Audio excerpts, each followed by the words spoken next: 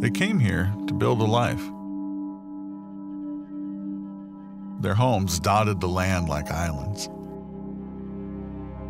Until one day, a rancher strung a copper wire along a fence post and forever connected us all. We didn't build the communities that made South Dakota. No, we just brought them together.